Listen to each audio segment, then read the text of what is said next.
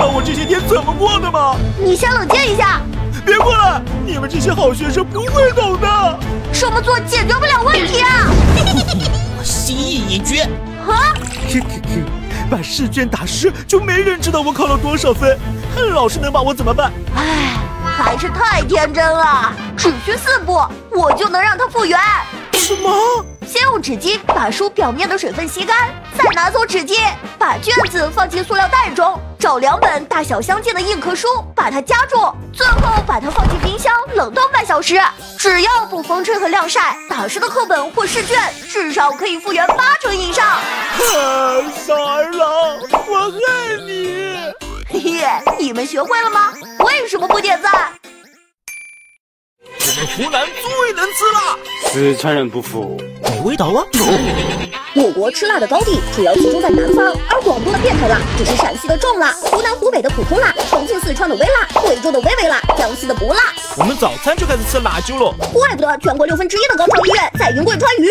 湖南人年均吃辣椒一百斤，痔疮率百分之七十六点六四，居全国第一哦。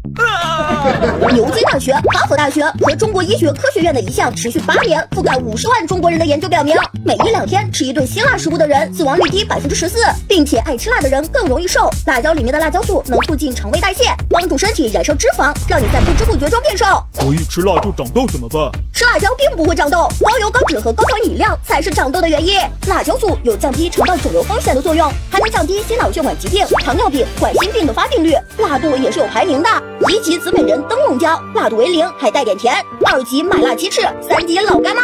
嗯，我们心中的点滴辣酱。四级海底捞干碟，绝大多数人扛到这儿，而四川人表示根本不辣。五级新疆板椒，六级重庆爆辣火锅底料，七级小米椒，八级变态辣疯狂好吃。天津考界的辣椒传奇，哈哈。九级江西朝天椒，这都是用来炖汤煮粥的。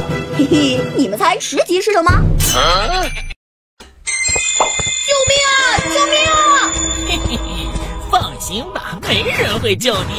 光喊救命根本没用，要向特定的人发出求救信号，让他们产生使命感。穿黑衣服、戴金链子的大哥来救救我！啊，你是谁啊？放开他！这种我见多了。哎，误会了，我是他舅舅。小朋友精神状态有点问题，不好意思哈。这样啊，那快带回家吧。坏人会用这招降低周围人的警惕心，这时要稳定情绪，以其人之道还治其人之身。大哥，他是贩毒的，还骗人吸毒。只要进了警察局，一切都会水落石出。我就不信了。比喊救命更有用的是救火！着火了！